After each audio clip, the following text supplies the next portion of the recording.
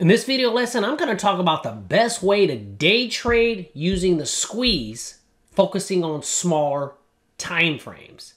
Hey, what's going on? I'm Jeff Moore, published author, professional trader for 16 years, and this is TTM Squeeze Show.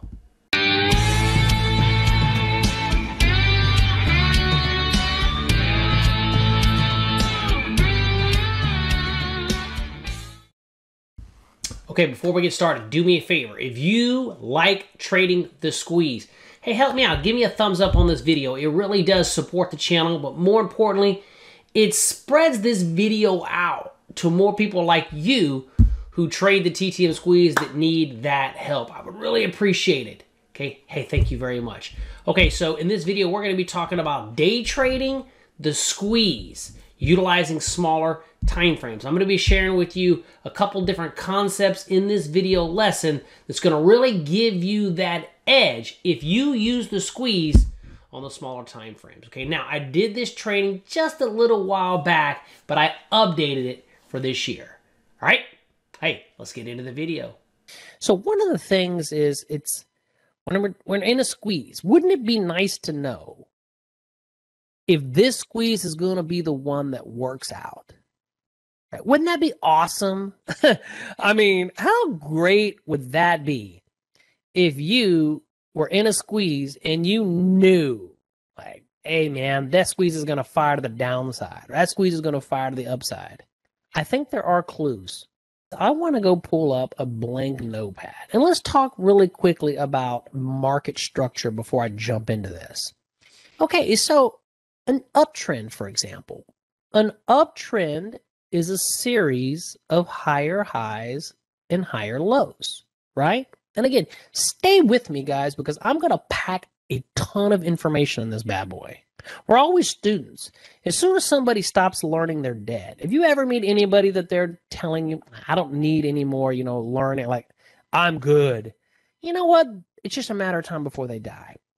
But hear me out for a minute. Let's go back to this market structure idea. So I want you to assume for a minute, let's just say this is the daily time frame. Okay? Let's say we're looking at a daily chart. We have higher highs and higher lows. How many of you enter a trade? It looks phenomenal and it just fails and you're stuck asking yourself how the heck did that fail? It was such a beautiful trend. I don't know about you but i've got into so many squeezes where it just looked phenomenal and i'm like what the heck? What's going on? I think the key is going to lie into what i'm talking about today. It's the bigger time frame. Hear me out because we're going to go deep on this. So you got to pull back you got to pull back you got to pull back. So on the daily time frame, you got these pullbacks. Well, guess what? Let's think for a minute. Let's just say you were trading the 39 minute chart.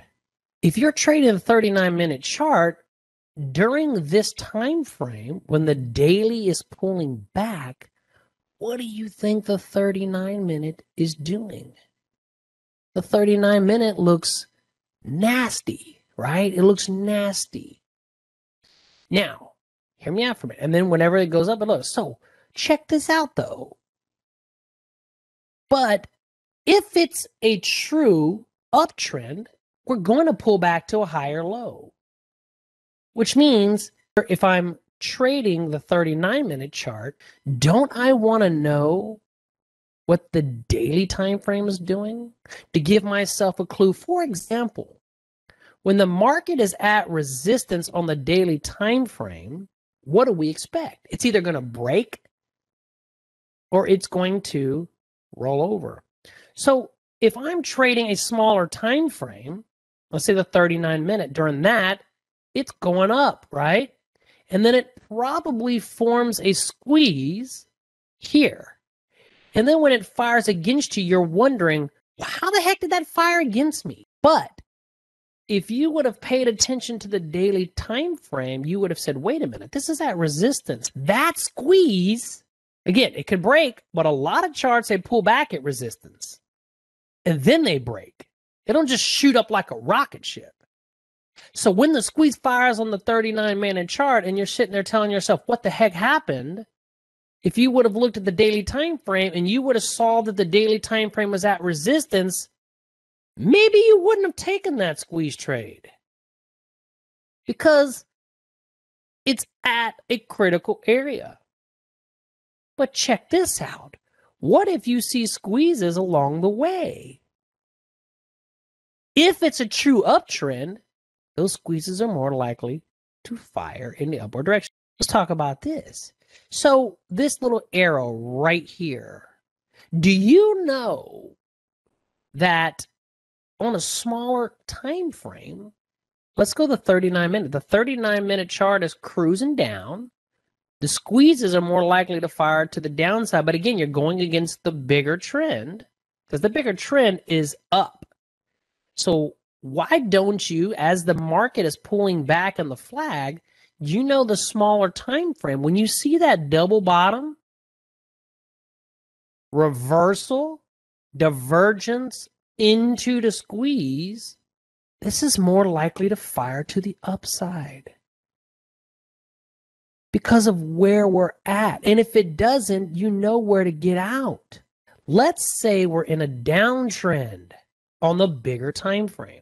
See this hookup right here? On the 39 minute chart, what do you think that is? Again, that's usually some type of reversal pattern, right? And then it goes up and then it forms this squeeze. We talk about this all the freaking time. The blue comes down, it's below the pink. Hear me out for a minute. And then what it does is it crosses back above like that, right? And then it forms this squeeze. And then it fires to the downside. But if you would have looked at the bigger time frame and drew, let's say, your Fibonacci from from high to low, maybe this hookup was just a 50% Fibonacci retracement on the bigger time frame. And you wonder why that squeeze failed? And again, we don't know the future. But my point is, am I better off, even though the smaller time frame looks so good, I get a signal, maybe the, the blue starting across the 21, you're getting a cluster dot. The reality is, I got to be prepared. If I'm in the, I'm not saying don't get in the trade, but what I'm saying is there's been times where I've held the trade and kept my stop loss down here and just said, well, as long as it doesn't break this low, why am I doing that if we're in a downtrend? Because I'm expecting this bear flag to break to a new low. I could have traded this squeeze to the downside because it's nothing more than a bear flag on the bigger time frame. Does that make sense? What I'm trying to get at, it's not about oh, what's the momentum on the bigger time frame? It's more what's the market structure on the bigger time frame? And if I'm going to trade a smaller time frame, how can I use the bigger time frame to my advantage? If I'm looking at the 3 minute chart and the 3 minute chart is in a flag or let's say the 5 minute, this pullback on the 3 minute chart is going to look a little bit deeper on the 1 minute. But then as soon as I get this double bottom reversal divergence into the squeeze, can't I even be more confident when I know that we are just in a bull flag? And if it maintains market structure, it's going to bounce. So pay attention to the bigger time frame. I want to know what is going on on the bigger time frame. If we on the bigger time frame are in a flag, we pull back into a flag. And then, you know, you get that little inside bar. Now, on a smaller time frame, that's probably some type of reversal pattern, probably a divergence, probably a cluster dot. But check this out it bounces.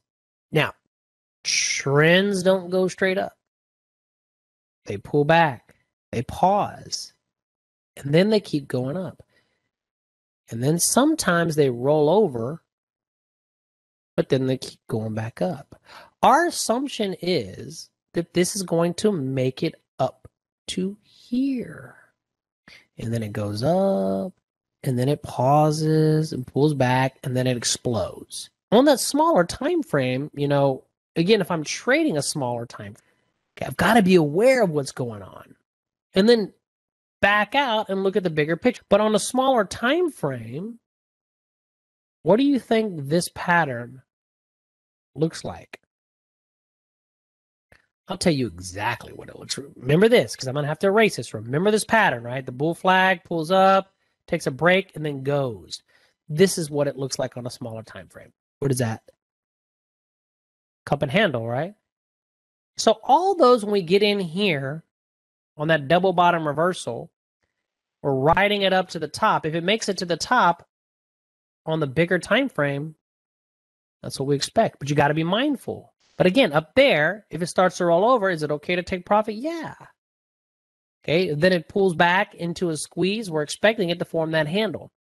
But what I'm saying is down here, I'm more confident. Now, also lots of times it does this. Do do coming down, double bottom, boom, fires, rolls over. Okay. And what does that look like on the bigger time frame? That's nothing more than a bull flag that bounced, that pulled back. This time period right here is right here. Is this making sense? Again, if this low still holds, we expect the pattern to chop and then go. We have to assume. So all I'm trying to say is, and I'll finish this up and we'll kind of open up the discussion, is start looking at the bigger time frame. If the bigger time frame's in an uptrend pulling back support, and you see a double bottom divergence entry on a one minute, go for it. That's your time to take it. I don't care if the momentum's up.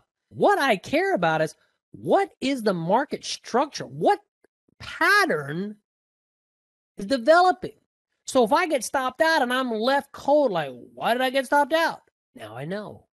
And now I know when I see these one minute divergences and I see that it's basically pulling back to support in an uptrend on the bigger time frame, why would I not trade that? All right, hey, I hope you enjoyed today's video lesson. I promise you, if you start implementing what I share with you in today's video lesson and you want to trade smaller time frames with the squeeze, it's going to make all the difference. Hey, listen, right now, this month, anybody who gets my Options Elite Masterclass, I'm going to give you my TTM Squeeze bonus course for free. All right? So if that interests you, make sure you check down below in the description because it's free this month if you get my options elite plus i have a whole bunch of other bonuses now if you do not have the squeeze pro and you want to get the squeeze pro it's through simpler trading.